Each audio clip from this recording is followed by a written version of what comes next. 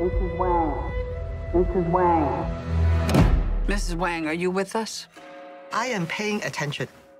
It does not look good.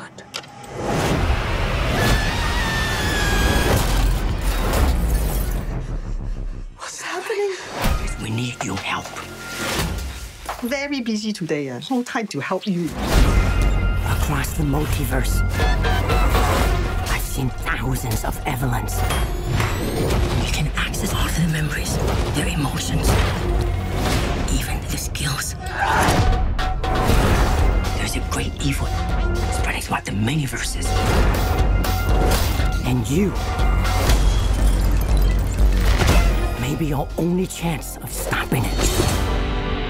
Don't let anything distract you from it.